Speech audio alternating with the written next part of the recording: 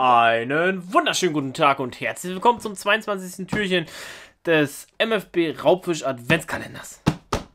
Oh, hier unten in der Ecke, ich sehe es schon. Da ist er. Furchtbar klein, versteckt sich in der Ecke, aber da hat sie die Rechnung ohne Lemmy gemacht. Auch hier wird sie gefunden. Der fängt immer Savage Gear. Da bin ich aber gespannt.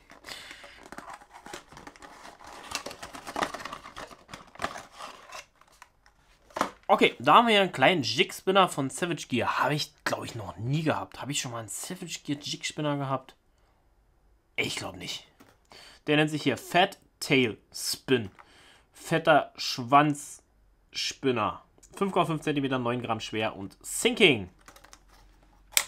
Voilà. Oh. Messe.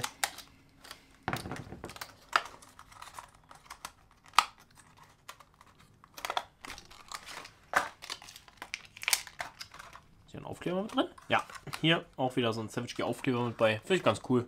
Stand hier noch was drauf? Oh Gott, das ist ja furchtbar klein geschrieben. Und dann auch auf schwarz kann ich sowieso nicht lesen. So, raus damit. Da ist das gute Stück. Ja, auf jeden Fall was Tolles hier für die Barsche. Cool, dass der hier mal so ein kleines Logo im, im, im Tail hinten hat. Finde ich eigentlich ganz cool gemacht. Das ist auch nicht diese, ähm, wie heißt denn das Blatt jetzt hier? Das eine heißt, ah, ich komme nicht mehr drauf. Hm. Ah, diese länglichen heißen doch irgendwie. Ah, weiß ich nicht. Ist ja auch egal. Ich will nichts Falsches sagen. UV-aktiv. Ui.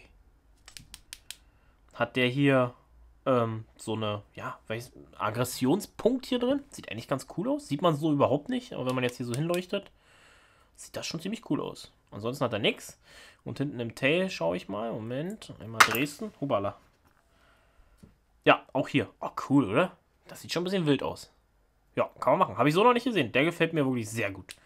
Der ist schon toll.